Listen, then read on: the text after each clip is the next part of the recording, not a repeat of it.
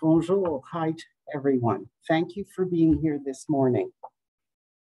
On behalf of the Quebec Community Groups Network, I wish to thank the many community organizations and individuals joining us this morning to raise the alarm about the far-reaching and unacceptable impacts of Bill 96, not just on English-speaking Quebecers, but on all Quebecers.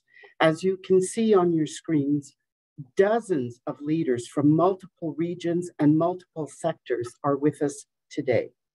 Tout d'abord, permettez-moi de dire que nous sommes de fiers Québécois, fermement engagés à faire la promotion de l'utilisation du français.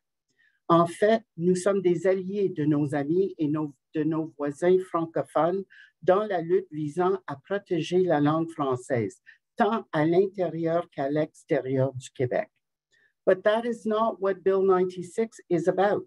As with Bill 21, Bill 96 calls for the most sweeping use of human rights overrides in the history of Quebec and Canada, ousting the application of both the Quebec Charter of Human Rights and Freedoms and the Canadian Charter of Human Rights and Freedoms.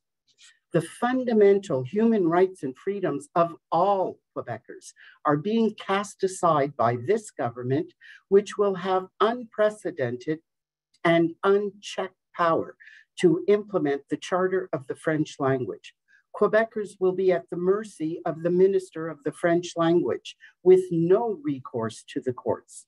When inspectors from l'Office de la langue l'Office québécoise de la langue française shows up to seize your cell phone, your computer, and other equipment, fine your business, and dictate what language you can speak and where, we will be powerless. Depuis le dépôt du projet de loi 96, il y a de cela plus d'un an, nous demandons au gouvernement d'expliquer pourquoi la protection et la prom promotion de la langue française imposent la création d'une zone où la charte ne s'appliquera pas. Cette mesure exagérée a une incidence considérable sur l'ensemble des Québécois et non seulement sur les Québécois d'expression anglaise. Bill 96 would have significant negative impacts on commerce, employment, education, access to public services, and the operation of our legal system. These impacts were made abundantly clear during parallel public hearings sponsored by the QCGN at the National Assembly hearings last fall and in the media. Many individuals and groups called for serious revisions to the bill. Among others, they include le Conseil du patronat du Québec, the Montreal Economic Institute, the Fédération des Cégeps, the Quebec Writers Federation, the Commission des droits de la personne et des droits de la jeunesse, the Barreau du Québec, Quebec Bar Association, and the Lord Reading Law Society, as well as the Coalition for Quality Health and Social Services. Not only have our voices fallen on deaf ears, but new measures introduced by the Coalition Avenir Québec during the recent clause by clause review have made the bill even more harsh. Qu'il s'agisse du gel des inscriptions au cégep anglophone ou de faire interdire aux municipalités bilingues de conclure des contrats en anglais, nos institutions seront assujetties à un nombre plus élevé de restrictions. En conséquence, il sera encore plus difficile pour les Québécois d'expression anglaise d'être servis dans leur langue. As you listen to today's presentations, I would like you to keep in mind key questions we have been asking Premier François Legault and Language Minister Simon Jolin Barrette for almost a year. These vital questions remain unanswered. First, why is Quebec so intent on preemptively overriding the Quebec and Canadian charters of, hum- of rights and freedoms? This will set aside our proud tradition of protecting human rights as well as international human rights standards to which Quebec has bound itself. Why? Secondly, why does Bill 96 further restrict, further limit access for our community to health, to education, social services, and the courts? Moreover, how does restricting services for English speaking Quebecers protect and promote the French language? And thirdly and finally, why is Quebec adding a number of new and draconian powers to the Charter of the French language? This includes new search and monitoring powers that are exempt from the prohibition on unreasonable search and seizure in our Canadian and Quebec charters. Why? We're still waiting for the government to answer those questions. Le projet de loi 96 devrait porter sur nos valeurs, ainsi que sur le Québec et le Canada dans lesquels nous voulons vivre. Le gouvernement du Québec propose de redéfinir divers aspects de la société. Le contrat social qui a été conclu entre les Québécois au fil de nombreuses décennies antérieures, la relation entre le Québec et le Canada et même la relation existante entre les citoyens et l'État. Cet aspect du, projet de loi devrait préoccuper chacun de nous. Tous les Québécois méritent que, que l'on réponde à leurs questions. I'd like to now go to our other speakers. Our first speaker, well-known human rights lawyer, Maître Julius Grey, will focus on the constitutional amendment, the preemptive use of the notwithstanding clause, and access to justice. Julius, the, the micro is yours. Euh, merci Marlene. Euh, une tâche très difficile de résumer tout cela en cinq minutes, mais je vais faire de mon mieux. D'abord, je veux dire que l'épanouissement, l'amélioration de, la qualité du français, la, vie en français sont des choses très importantes pour moi. Mais je ne vois rien dans la loi 96 euh, qui a pour effet d'améliorer euh, ou, de protéger le français. Il y a par contre des dispositions qui sont manifestement dangereuses pour les libertés publiques de tout le monde. Euh, First, I'll speak of the constitutional amendment. I think it's probably invalid because it's not just a, a provincial institution amendment, uh, but its purpose is surely to make the charter less effective in Quebec than everywhere else, to make the protections, public law protections of the Canadian Constitution weaker in Quebec. It's difficult to see who will gain from this, why that should be done, and why uh, uh, this element of extreme uncertainty should be introduced into uh, our constitutional law. Si on parle de la clause non-obstant, ce n'est pas la première fois. Il y a également l'exemple de la loi 21, la loi sur la laïcité.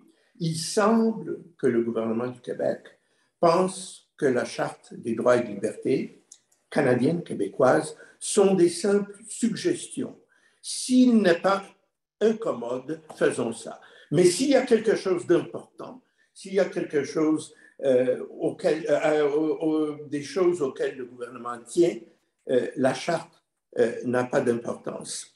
Euh, c'est très dangereux. C'est également euh, un accroc à la liberté de tout le monde parce que, n'oublions pas, la révision judiciaire a été historiquement euh, la façon de protéger euh, les libertés. The excesses of the Duplessis government with respect to, uh, Jehovah's Witnesses uh, or uh, the anti-communist uh, campaign, uh, the padlock law, the prohibition of abortion, the criminalization or the inequality uh, of people who were, uh, belonged to the uh, gay community were all things that were solved by the courts. There is no doubt that a government like the present, Mr. Duplessis, would have used the notwithstanding clause to make sure that uh, uh, his view of a Catholic Quebec or an anti-communist Quebec uh, was protected. By eliminating the judicial review, what this government is doing is basically saying the charter doesn't matter. The charter takes second place to our policies. And then, of course, there is the very serious problem of the rule of law uh, and the access to justice. Just as the uh, uh, restrictions on the use of the charter reduce the possibility of contesting, so the justice parts of the new law prevent citizens from going to court and having an equal shot at protecting their rights. Marlene has already pointed out the uh, terrible situation of uh, having inspectors come in without any recourse to the, char uh, to the charter, to powers against search and seizure and so on. And let's look at it in terms of proportionality. Quand la police est en train d'enquêter sur un meurtre, qui est une chose très importante, ils ne peuvent cependant pas saisir, entrer, euh, violer les, droits euh, à la vie privée, mais pour quelque chose qui, semble-t-il, est plus grave que le meurtre pour le gouvernement du Québec maintenant, pour le fait que les gens n'utilisent pas le français comme ils pensent qu'il devrait être utilisé, ils peuvent tout faire sans recours à la charte. Toute règle de proportion tombe. Le meurtre, oui, se protéger, mais l'utilisation de l'anglais ou d'une autre langue n'est pas protégée par les règles contre les saisies et, et les fouilles. Uh, c'est absurde, uh, c'est injuste.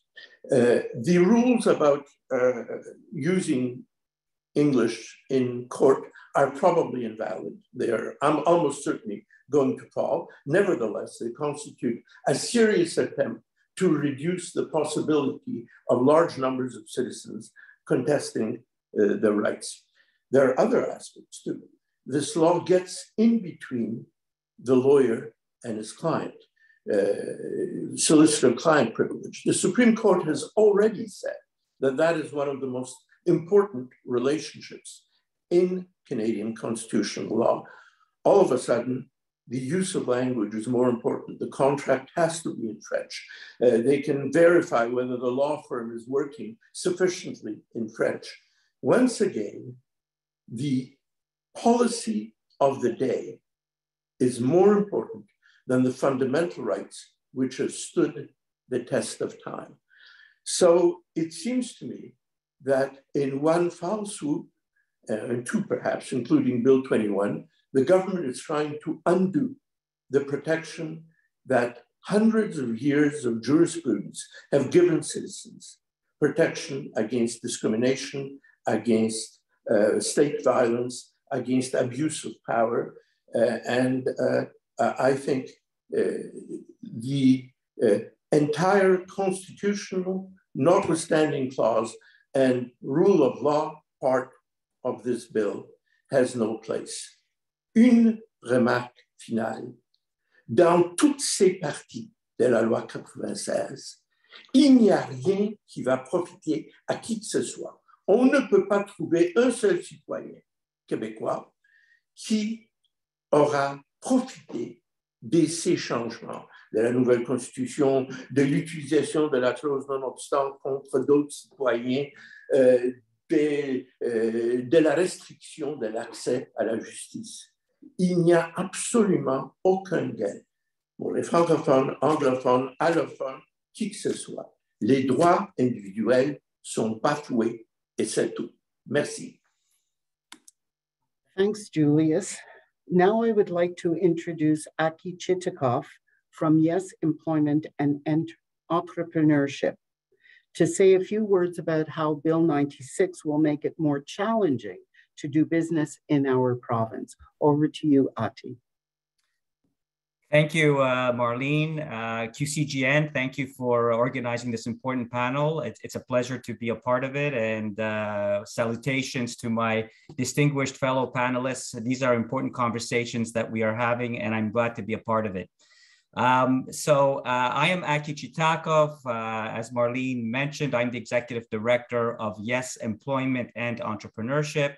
Uh, you might have uh, known uh, us as Yes Montreal, but uh, we've up, up, upgraded, updated our, our logo and our uh, and, and our name to better reflect the very broad range of services that we provide to the English speaking community. So for the purposes of this discussion this morning, I'm going to focus specifically on the challenges faced by English speaking job seekers and aspiring entrepreneurs, but we can go on. There, there, there are so many other um, issues uh, in the, in the la- on the landscape of employment and business development in Quebec that, that we could address. But uh, for the purposes of uh, you know, the time uh, limitations, I will focus on, on these two um, these two categories of, uh, of, of people. So who is Yes? Yes, Yes is the only dedicated English service provider for job seekers, entrepreneurs, and artists in Quebec. Yes ensures retention of the English speaking community of Quebec by providing timely, responsive, and accessible services connecting English speaking Quebecers with the tools needed for economic integration. Our services are tailored to job seekers, entrepreneurs, and artists. They include individual and group employment counseling and business coaching, day and evening professional and skills development workshops, special events such as the Business Skills for Creative Souls annual artist conference, networking building opportunities, access to mentorship through an innovative online platform, and online e-learning strategies. Most of our services are, are free and we serve people of all ages. Since our founding, we have served over 57,000 individuals. Our services are open to English-speaking Quebecers across Quebec.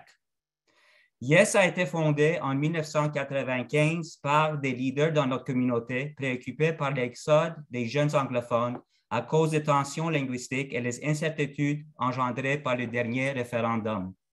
Presque 50 des Québécois, Québécoises d'expression anglaise qui avaient l'anglais comme leur langue maternelle nés au Québec et qui vivaient ici en 1971 ont émigré ailleurs au Canada dans les 30 ans suivants.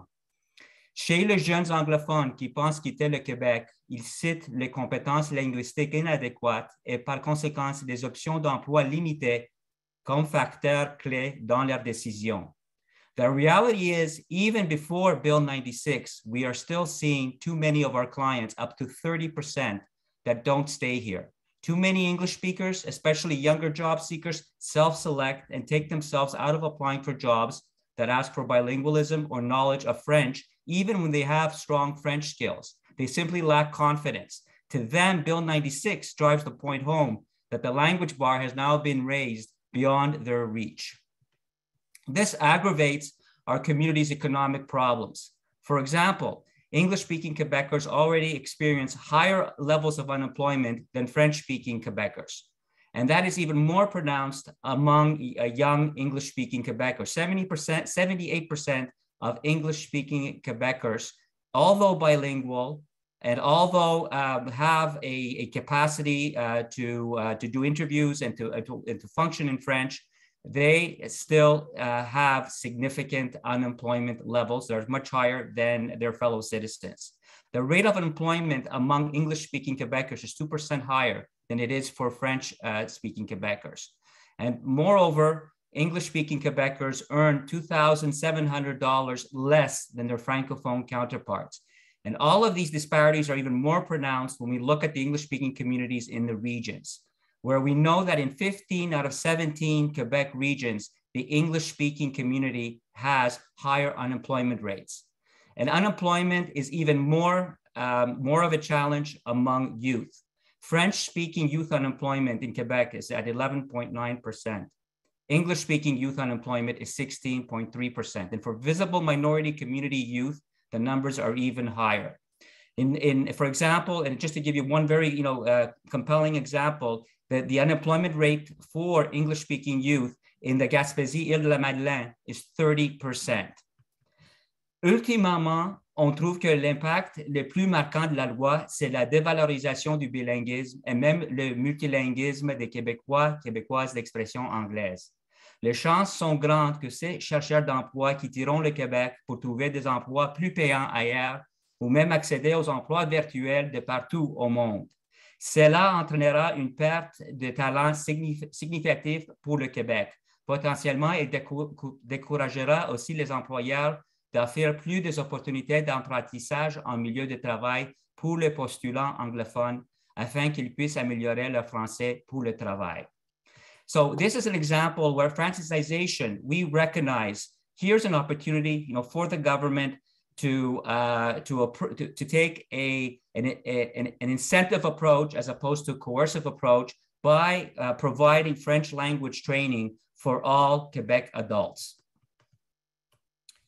Now, let me talk about the impact on small and medium businesses and, and entrepreneurs. Last year, YES helped over 700 aspiring entrepreneurs from every imaginable sector to launch their small businesses. Entrepreneurship is not easy and demands discipline and efficiency. Like in every other endeavor, the small English speaking businessman in Quebec has to do more, more work to promote their business, to access the necessary funding, connect to the right networks, and navigate the Quebec government business and tax bureaucracies. And like all entrepreneurs, the English speaking entrepreneur needs a sensible regulatory network. We know from the Canadian Federation of Independent Business and from other you know, business authorities that Quebec small business owners are opposed to Bill 96 regulatory requirements. They report that, the, that red tape in Quebec already costs more than $8 billion a year in lost economic productivity. The surveys that, they have done of their members on Bill 96, this is, uh, the, uh, this is what we hear from, from small uh, business people and aspiring entrepreneurs. 56% des petites entreprises au Québec s'opposent aux mesures de francisation que euh, la loi propose. 61% des, des entreprises de la ville de Québec et 60 des entreprises de Montréal s'opposent à ces mesures aussi. C'est déjà assez difficile et compliqué pour les, les, les, petites entreprises et les entrepreneurs de mettre en place le bon système pour la comptabilité, pour le marketing, pour le service de paie, pour les ressources humaines. Maintenant, d'exiger aussi qu'ils euh, mettent en place des comités de francisation, ça, c'est vraiment, c'est un fardeau euh, supplémentaire et quelque chose qui, qui fait aucune contribution à leur succès. In another telling uh, Canadian uh, Federation of Independent Business survey, they surveyed 781 of their members last year and found the vast majority, 65% of, of respondents, say that it is essential that English uh, be a part of business operations. Then there's the reality of Montreal's vibrant tech startup sector. There are 1,300 tech startups in Montreal. They have staff working from all over the world. How are these firms going to be able to work in French when English is the working language of these international teams? What is the logic of tying small Quebec businesses to burdensome regulations that restrict their hiring options when these same businesses never needed more flexibility in attracting talent in a severe labor shortage environment? Again, we hear from our friends in the business community. 64% of Quebec small businesses can't get all the staff that they need. This is the highest proportion anywhere in Canada. There are, at the last count, there are 238,000 positions still left unfilled in Quebec in the third quarter of 2021. And we know that that, that rate keeps rising uh, daily. Conclusion, in conclusion, we interpret Bill 96 as officially shutting down any English path, pathway for non-Francophone job seekers, entrepreneurs, and artists to gain a foothold in Quebec society. Fundamentally, we are in the people and talent business, and measures that create obstacles for talented, motivated English speakers to fulfill their potential are not good for our collective success. We go back to making it easier for our kids and newcomers to set up shop, shop anywhere but here in Quebec. Why are we doing that? Thank you. Thank you, Ati. Aki, sorry. Now I, I would like to invite Dan Lamoureux, the president of the Quebec English School Boards Association, and Nancy Beattie, a director of Constituent College at Champlain in Lennoxville, to address the devastating impacts of Bill 96 will have on our English speaking English language CEGEPs and our college level students. Over to you, Dan and Nancy. Thank you very much, Marlene. I am here on behalf of the Quebec English School Boards Association, who represents the nine English school boards across Quebec. While there are many issues surrounding Bill 96 for our entire community, including the blanket use of notwithstanding clause, I will speak to the new three-year cap on temporary stays of foreign nationals. The original charter of the French language had a disposition that anyone coming to Quebec, to work in Quebec, excuse me, from another country was able to obtain admissibility to English public schooling in Quebec for three years with the option to renew. This new cap has removed the option to renew any admissibility after the initial three years. The number of students and families availing themselves to this option equals on average a minor 3%, which has absolutely no effect on either the French or English systems in the long run. We maintain that there is absolutely no reason to amend the temporary stays for foreign nationals that would cap the eligibility certificate to three years. A pointed example of implementing this new provision, we may not have seen the United States Vice Pres President Kamala Harris spend six years and graduate from Westmount High School when her mother, Dr. Harris, a breast cancer scientist originally from India, brought Harris and her sister, Maya, to Montreal in the 1970s when she took a job teaching at McGill University and doing research at the Jewish General Hospital. This talented researcher might not have accepted this position if told her children could not benefit from a bilingual education in Quebec. This is simply one example of the talent that Quebec will ultimately lose if this is adopted in its current form. Thank you very much. Merci beaucoup.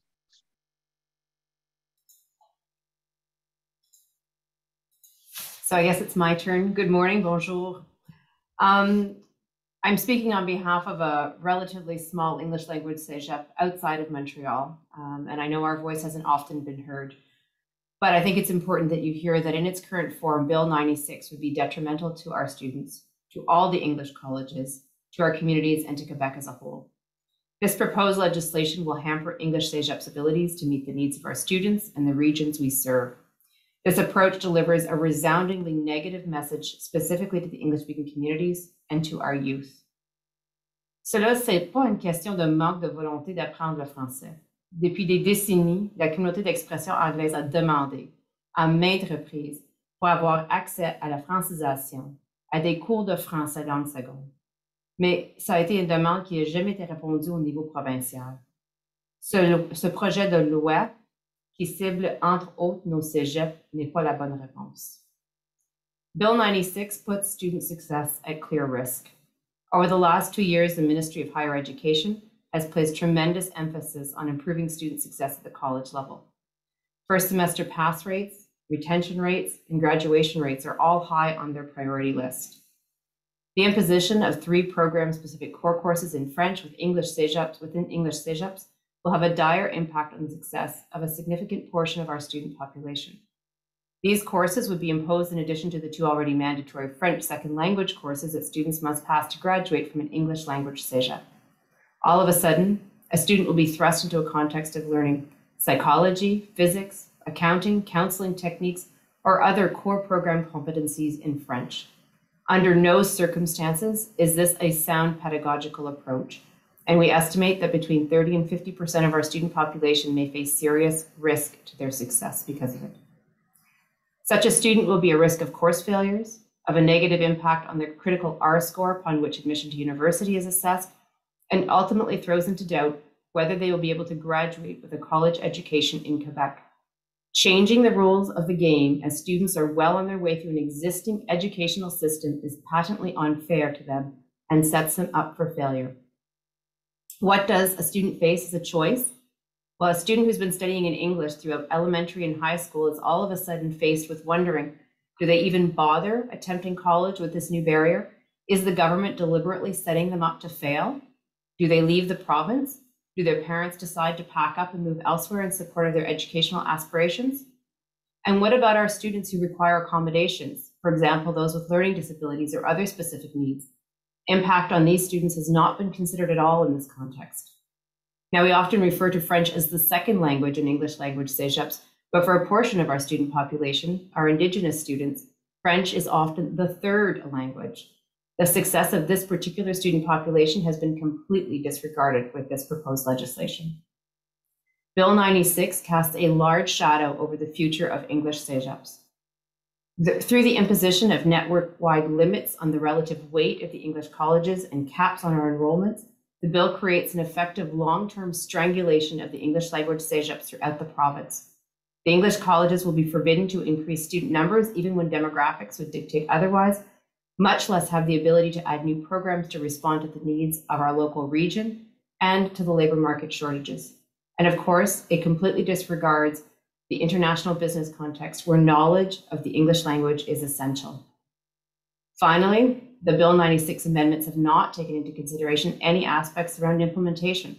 There has been no thought about the necessary human resources required to teach any new courses with mandatory delivery in French or even about the potential job losses that may transpire because of these changes, much less have the significant complexities involving changing program structure, competency alignment, language of instruction, and preparing students for a different exit exam been even thought about. En conclusion, ce n'est pas trop tard de faire des ajustements significatifs au projet de loi pour changer le, le message adressé à la d'expression anglaise pour soutenir l'apprentissage du langue française dans une façon positive et constructive et de laisser le choix de langue d'études postsecondaires au choix pour les citoyennes et citoyens du Québec. Merci. Thank you, Nancy and Dan. I would now like to in invite Côte-Saint-Luc Maire Mitchell Brownstein to discuss the negative aspects of Bill 96 on municipalities that have official bilingual status. Mitchell, over to you. Thank you, Marlene, and for all the panelists that are here today and our guests, and particularly the media who we count on to get out our message. You we heard from Julius Grey today, a constitutional law expert, and so many other panelists about the unprecedented overreach of Bill 96, about the future we are about to enter into in Quebec if this law is enacted. That future will include language inspectors seizing computers from business owners without a police warrant. That future will include civil servants reprimanded by their employer for using English words in an email message. That future will include cities like ours having government grants stripped away from us at the whim of the all powerful French language minister who isn't happy with how many jobs require knowledge of English in our city. There will also be a requirement to contract in French only, without an English version having any authority in law. Further, cities will have to ask for legal opinions or other professional advice, only in French, even when the mayor and all the councillors are English, when the outside lawyer is English, and the other party is English. Je suis le maire d'une ville dont la population est majoritairement anglophone, ce qui est, une exception au Québec. Mais Côte-Saint-Luc est encore plus intéressant que cela. Si vous descendez une rue, vous pouvez entendre un groupe de personnes discuter dans une combinaison d'anglais, de français et d'italien. D'ailleurs, on peut entendre de français et de russe. Et dans un autre coin, on peut entendre de l'anglais avec un peu de Yiddish. Des langues sont belles. I understand why French speaking Quebecers will always be concerned by the use of French in Quebec. And I understand why some language laws might be necessary to mitigate the natural attraction of English because we live in North America. Ce que j'aimerais que le Premier ministre Legault et ses ministres comprendre, c'est que le genre des changements radicaux qui contient le projet de loi 96 fera mal aux familles québécoises. Ils nuiront à la capacité de certaines Québécoises de trouver un emploi. Il va presque certainement décourager de nombreuses personnes de créer des entreprises. Il y aura des effets réels pour tous les Québécoises, pas seulement les Québécois anglophone. Merci. Thank you, Mitchell. Finally, I would like to invite my fellow QCGN board member, Dr. Sandra K. de la Ronde, to discuss the limiting effects that Bill 96 would have on our access to health and social services in English and on positive outcomes for patients who are not fluent in French. Sandra, over to you. Oui, merci, uh, Marlene. Et bienvenue à tous et tous qui uh, nous joindre aujourd'hui. Uh, Bill 96 has defined or has is providing a definition of a historic Anglo. Plus que 5000 euh, personnes et 50 groupes nous ont joindre à QCGN pour protester contre, contre cette définition. C'est quoi un historic Anglo? A historic Anglo, according to the bill, is somebody who has received education at the elementary and uh, secondary levels, um, but no else, nowhere else. How will this be determined? How will a client of health and social services in Quebec be uh, asked to prove this when they ask for service in English? Are we going to be issued a registration card? This is offensive. Currently, health and social services in the province is governed by Section 15 of the Act respecting health and social services and states that individuals can receive services in English where resources, personnel, and financial capabilities are available. An amendment to Bill 96 excludes Section 15 from the revised charter, charter but a review of, of this suggests of the bill suggests that it will supersede all other uh, legislation. And in fact, certain areas, uh, including the communication with RAMQ, uh, will probably be in French only. Uh, the provincial government has uh, disbanded the Provincial Access Committee, which gathered access plans from regions like where I live in the Bas Saint Laurent. Uh, and these plans were created uh, under law to uh, define, assess, and, and recommend access to services for English speaking people in the um, various regions. These plans now sit in limbo. Quebec with Bill 96 is going backward against decades of research that shows that provincial provision of culturally sensitive care, including, uh, including language that the user can uh, understand, improves health outcomes. There is the issue of safety. How does a patient give informed consent to care when they can neither understand the the description of the care that they are going to receive or the forms that they are asked to sign when they are going to have received care. How do they use medications or follow treatment plans when they can't understand either of these? Imagine the scenario of an elderly English speaking gentleman with dementia who is in a care home that is not designated bilingual um, who has a unilingual uh, French caregiver uh, and is having a bath where the water is too hot and he is scalded. Or imagine the suicidal teenager who cannot communicate with a unilingual French counselor her, her fears and her thoughts. And as has been mentioned before by uh, Professor Julius and others, there is the issue of confidentiality.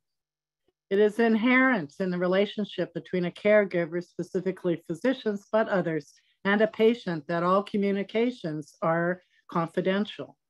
What happens when somebody complains that a patient and a physician are communicating in English and the Office of the Language uh, Regulation comes in? Their files are seized, are seized and uh, information that is theirs alone um, is seen by somebody that has no right to this info. There are many other examples of barriers to care in uh, this bill that will block uh, the delivery of safe care to uh, the English speaking population, and other implications in terms of uh, attracting um, world leaders in medical and science care and social services. Um, if they uh, cannot speak French or if their children cannot go to school in French, uh, there are blockages to hiring, to even advertising for bilingual caregivers. Um, the list goes on, but I hope that we have let you know what the impact will be on healthcare for the population. Thank you.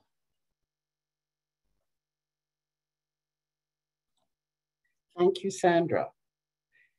Your examples of the potential impacts of Bill 96 are quite compelling, and I also want to thank our lineup of community leaders who have outlined their considerable concerns about Bill 96. As you can see and as you have heard, this proposed legislation is littered with destructive measures that will have direct and grave impacts on the rights of English speaking Quebecers and on our community's vitality. Left unchanged, this bill would radically alter the future of our community, our province, and our country. Enfin, j'aimerais rappeler le fait que les institutions gouvernementales ce qui inclut la fonction publique et les emplois de fonctionnaires comme tous les emplois occupés dans des institutions relevant du gouvernement comme les hôpitaux et les écoles ne pourront plus exiger le bilinguisme sauf dans des circonstances exceptionnelles. Cela signifie que le bilinguisme tant pour les anglophones que pour les francophones, ne serait plus considéré comme une compétence professionnelle utile. Minister Jolin Barrette stated last February that his goal was to protect and promote French and that the English speaking community and our institutions would be protected. While he continues to push that refrain, it is clear that the Bill 96 will have long term negative impacts on individual English speaking Quebecers, on our healthcare, our education, and other institutions, and on our community organizations. Once again, we urge the government to set aside this proposed legislation. We remain convinced there are more effective and inclusive ways to protect and promote the French language than those outlined in Bill 96. This bill simply does not reflect the modern inclusive Quebec that members our, uh, of our community have helped build. And rest assured that QCGN, our members, and our multiple community stakeholders will continue to speak out against Bill 96. We know it's going to be brought back to the National Assembly around the middle of May, and we hope the government takes that opportunity to pass major amendments. In fact, given the seriousness of this and our preoccupations, the QCGN and our partner organizations are planning a public demonstration for May 14th here in Montreal. We urge you and all your family and friends to join us in this very public expression of our dissatisfaction with Bill 96. For that, stay tuned for the details. And I thank everyone and turn it over to our Director of Communications to field the question period from the uh, media. Good morning. Thank you. So um, I indicated in the chat uh, for media only. Um, please indicate if you have a question to ask and we will unmute you and, um, and you can set forward your question.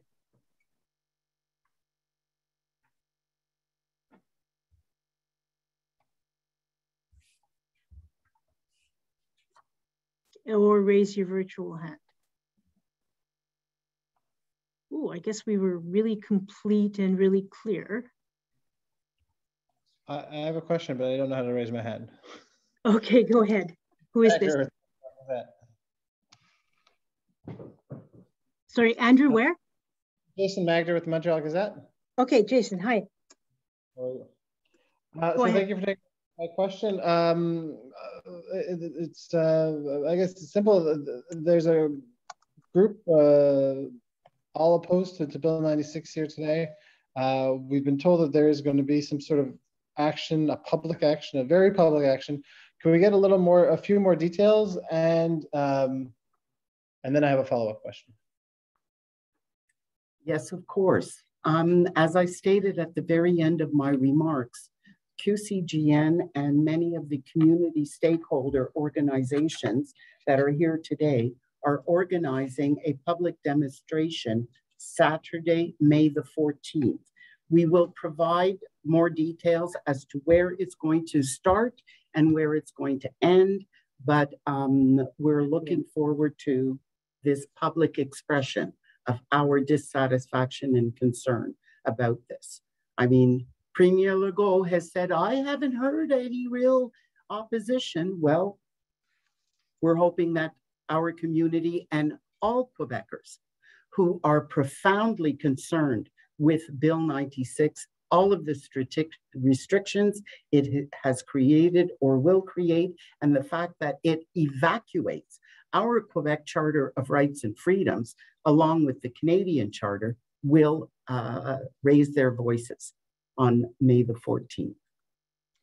Jason, you had a follow up? Yeah, the follow up is uh, how how many people are you expecting, and are you finding it difficult to to um, motivate people to, to go? Uh, considering this is this is a law where essentially you have to study the clauses to really see what the impacts will be on specific communities. It's a little bit um, ephemeral, as as, as uh, I might say. Uh, so, are you expecting to see a lot of people? And if, uh, or do you think it's going to be difficult to try to motivate people to, to come out for this?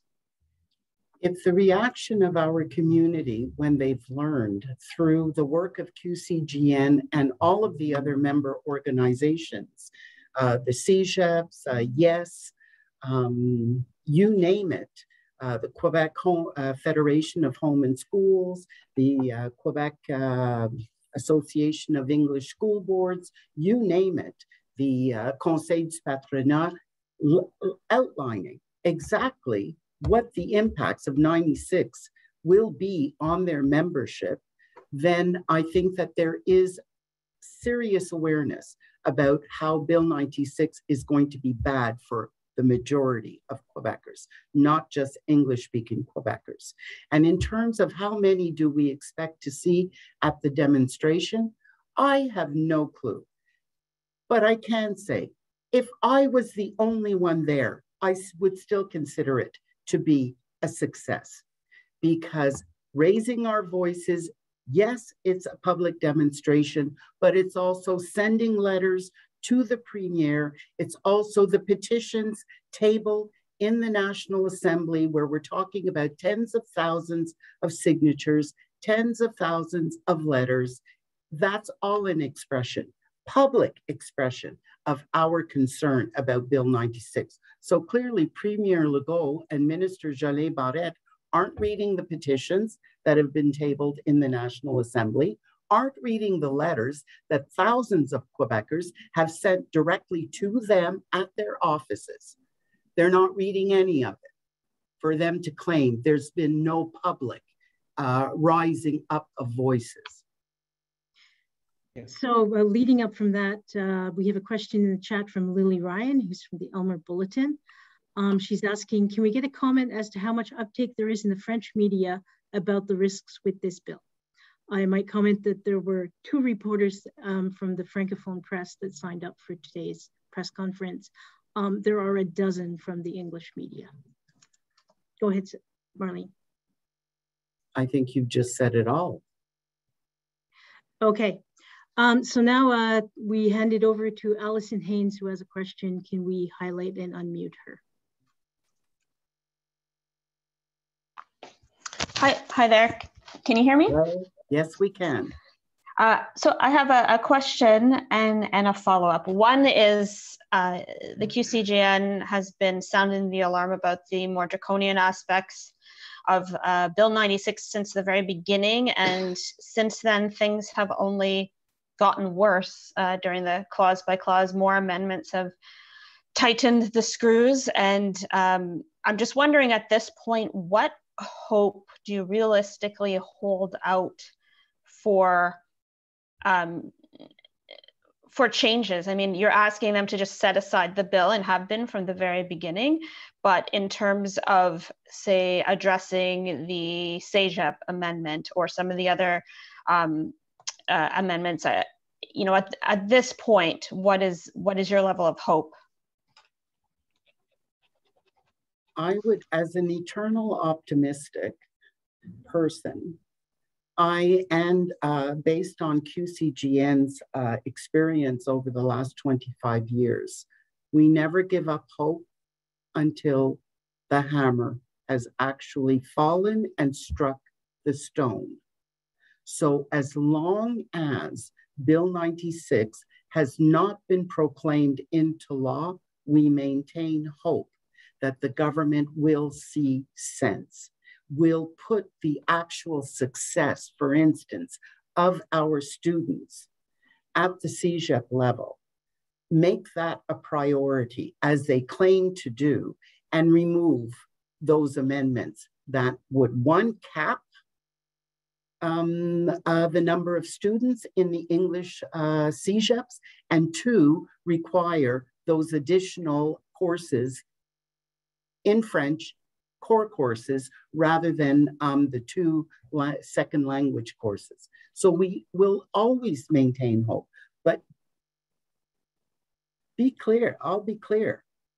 If the hammer strikes the stone and that piece of legislation is in fact proclaimed into law, then Premier Legault, this is a warning shot over your bow that there are many organizations and not just organizations representing the English speaking community, organizations representing commerce in Quebec, representing employment in Quebec, representing health and social services in Quebec that have already begun looking at legal challenges. All right, so and, we had a Go ahead. She has a oh, If I can just ask a quick follow up, uh, and it, it, kind of dovetails with what uh, was, was asked just before me about how many French media are here, etc. But what about um, engaging francophone groups uh, and whether it's the legal community or, as you said, the business community? Has has there been any outreach, and, and do you expect any participants from francophone community? Well, if if one looks at the briefs that were uh, tabled by different largely francophone groups at the National Assembly uh, Commission's hearings, public hearings in September 2021, like the Conseil du Patronat uh, du Québec, like Le Chambre de Commerce uh, Montréal Métropolitaine, like the Federation of Independent, uh, Canadian Federation of Independent Businesses, like some of the trade unions where they pointed out their real problems with aspects of Bill 96, like the unfettered search and seizure powers of the language inspectors, like the requirements for um, legal uh, documents, contracts, everything to be in French only, and that English uh, uh, versions would have no legal standing a lot of that came about because QCGN reached out to these organizations, provided them with our deep dive policy analysis, pointed out these sections of the law that could, the proposed law that could be really problematic for their membership. So I, I want to pat QCGN on the back for that because that wouldn't have happened, I believe, had QCGN not done that background, re, uh, you know, reaching out. So yes, we have reached out, we continue to reach out, and we continue to um, hope that these organizations themselves will continue to speak out on behalf of their membership. So there's a follow-up question from Lily about uh, the May 14th Day of Action. Will there be locations outside Montreal, um, such as Gatineau or Sherbrooke? We hope so. And we're organizing uh, with all of our member organizations and community organizations that are not members of QCGN, but who are very active. We've been doing that background uh, groundwork. And so, yes, uh, we're hopeful that there will be demonstrations outside of Montreal as well on the okay. 14th of May, which is a Saturday. Up next, uh, John Grant. Can we unmute him and uh, highlight him if possible? There he is. Hi, uh, it's uh, Josh Grant with CBC. I um, so you've it's no no worries. Uh, you already uh, you've spoken a lot about your concerns, um, preoccupations. Can you just summarize for me what are your biggest concerns about Bill 96 if this does uh, come into law?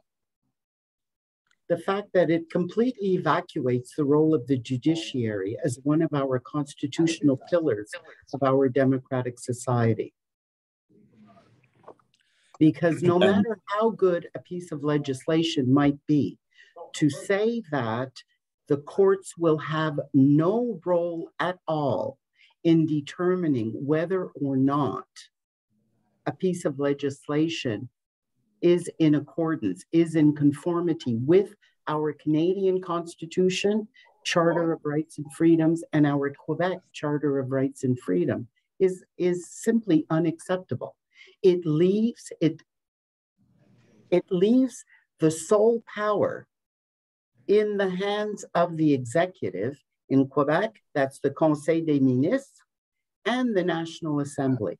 And Premier Legault repeatedly says, I'm governing for the majority. I'm doing what the majority wants.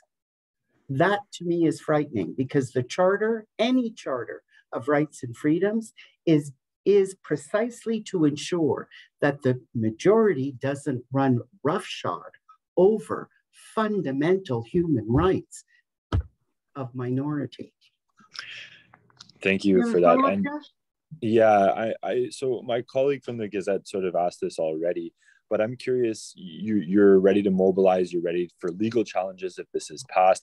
What about in the meantime? Is there any talk about you know sitting down with the Liberal uh, Party of Quebec, the official opposition? Obviously, they've said they're going to maybe try and walk back the, the clause that they installed with CEGEPs. They're obviously they seem to regret uh, even uh, putting that out there. But in the meantime, what are you? Is there any sort of push uh, with political parties to try and get some modifications to try and get some some uh, to adopt the law before it, it's uh, before it's passed? Adopt the law before it's i'm i'm not sure i understand sorry I, I, is is there steps that you're taking to try and uh, get some modifications made to the bill as it is before it's passed?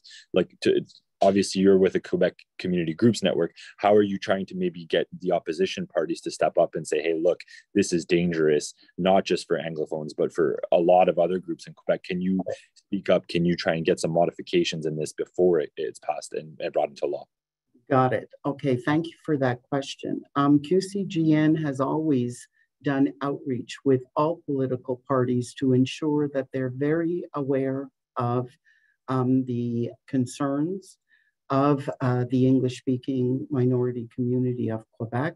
So we have had uh, discussions with representatives of the uh, uh Quebec Liberal Party, as we have had with other political parties here in Quebec um, to put on the table what our concerns are and um, uh, to respond to their uh, questions to know what do we think what does the community think on this. So that's an ongoing process.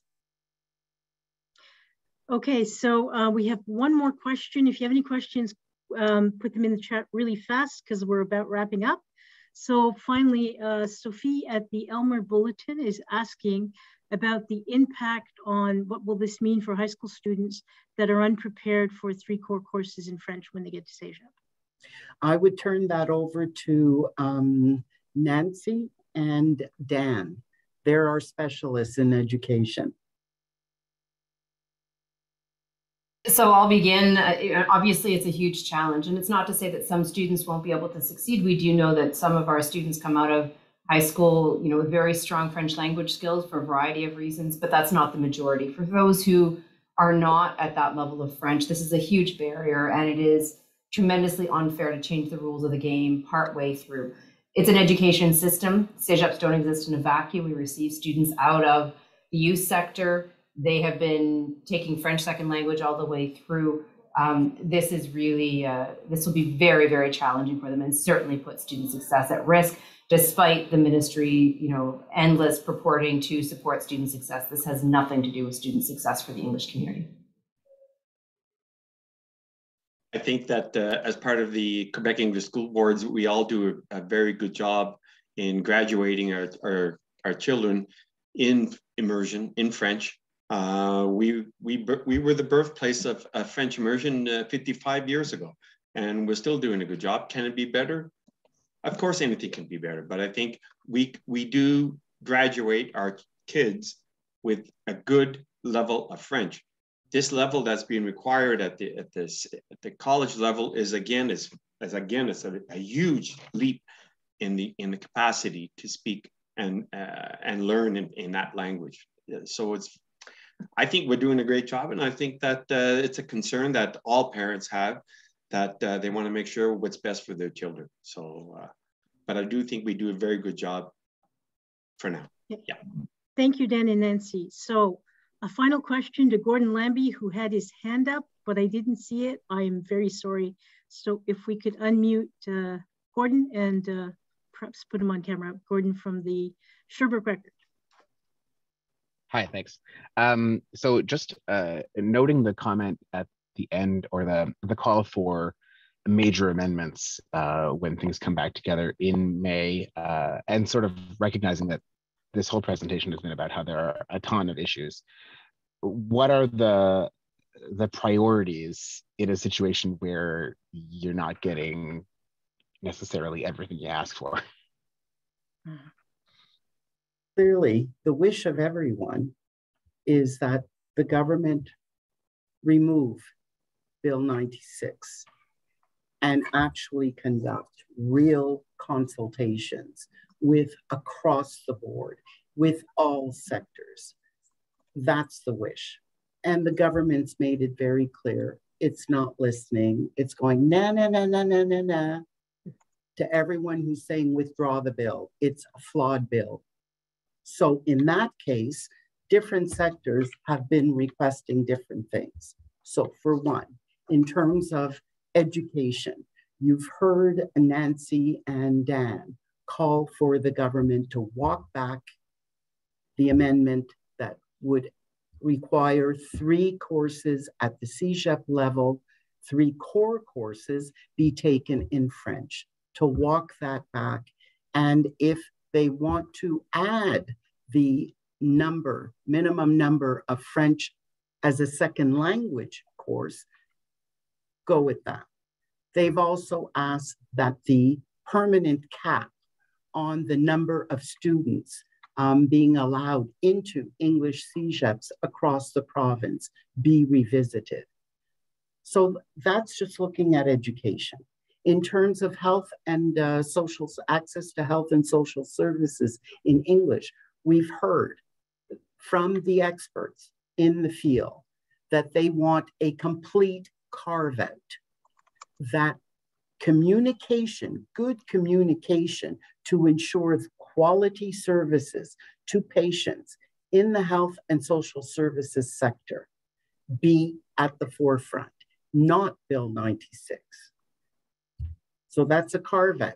That means that Bill 96 would not apply in the health and social services sector. Um, if we take commerce, we've heard from Conseil du Patronat and other organizations that represent biz, business owners, small business, medium sized businesses, that the unfettered powers of the language police to search and seize without a judicial warrant is simply not right and unacceptable. So basically, everyone's saying take away the notwithstanding clause and then amend these other sections. All right. Um, good question, good answer. Um, we're going to wrap up now. Um, if anybody has any follow-up questions, please don't hesitate to send me an email and we'll set it up. Um, I'm going to throw to our Director General, Sylvia Martin Laforge, who is going to say a couple words. Well, thank you for sticking with us until 12.10 uh, about. Um, merci d'être venu. Please stay tuned for the, the continuation of this story. Uh, the rally. Um, our partners, QCGN, is preparing for the rally on May the 14th. Um, so you've heard a little bit about it. Uh, we will have a Facebook page up. We are organizing and um, we would start at Dawson at 10.30 to reach the Premier's office for 11 o'clock. And uh, once we've arrived at the Premier's office located across the street from McGill Roddick Gates, we will convene for some quick speeches. But stay tuned. We will be giving you more details uh, on our Facebook page. And uh, we certainly look forward to the energy uh, that you've demonstrated here today in greater numbers on May 14th. Be well. Thank you. Bye all.